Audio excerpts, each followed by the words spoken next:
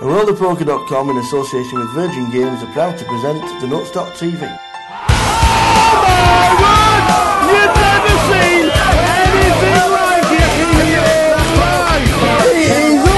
Unbelievable!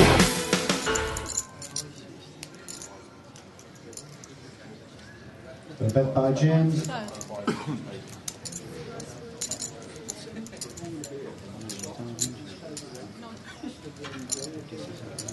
90,000 left by James, 90,000 to play. How much left have you got, young man?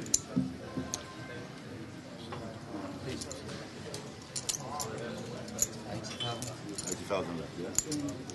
Just tell you one second. No, the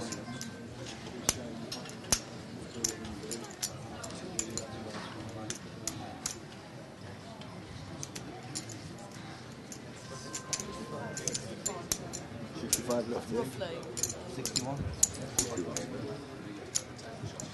Getting there.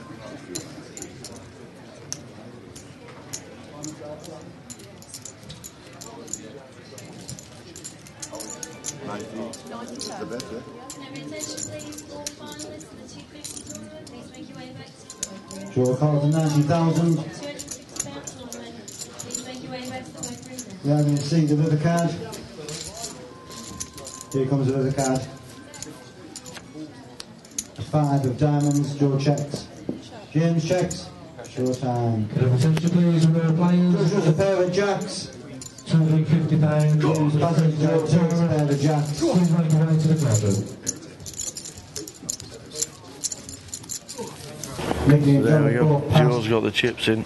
We've got uh, Queen Six of Diamonds against Queen Ace. James and didn't want to see the Queen. James shows the He Queen is massive. diamonds and a six of Dominated. diamonds. Here comes the 80 flop. 20. Five of hearts, three of spades, Oh, a six? of spades. Oh, it's a killer ace at the end of the turn. The full unbelievable. Wow, wow, wow. James Akenhead. Yet another final table for the Hit Squad members.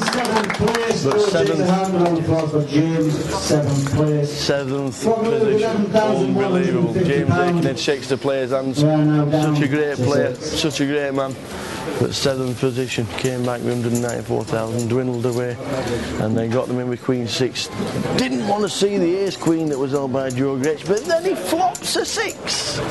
He flops a six, and the turn comes the nasty Ace James Akenhead